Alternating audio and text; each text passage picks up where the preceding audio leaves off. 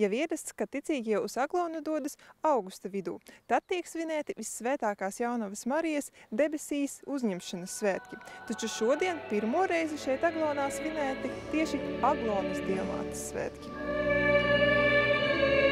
Pie Aglonas diamātas svētbildes ticīgie jau vairākus gadsimtus lūdzas, lai saņemtu dāvanas palīdzību.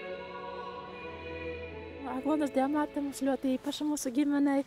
Esam tiešām daudz arī žēlastību izlūkuši. Esam ar vīru šeit laulājušies un arī šos abus divus bērniņus esam šeit izlūkuši diamātei. Nu, Aglonas diamāte vispār mums kā latgaliešiem nozīmē ļoti daudz. Tā ir mūsu aizbildne. Diamāte Aglonā ir mūsu garīgā māte. Nejauši cilvēks šeit ļoti mazs. Jo Aglonas diamāte ir tāda brīnišķīga īpašība, kā jebkurai mammai, aicināt uh, bērnus. Un, ja tu jūties Dieva bērns, ja tu jūties diamātes bērns, tu šeit esi. Dāvana, ko Aglonas diamātes svētkos bīskaps aicināja izlūgt šoreiz, mieru Ukrainai, Latvijai un visai pasaulē.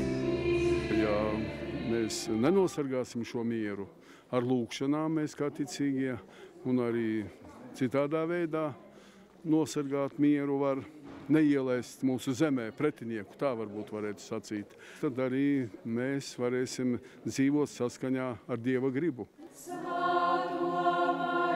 Svētku datums izvēlēts maijā, jo viss šis mēnesis katoļticībā ir veltīts diamātes pielūkšanai. Dinija Himļanova, Māris Justs, Latvijas televīzija.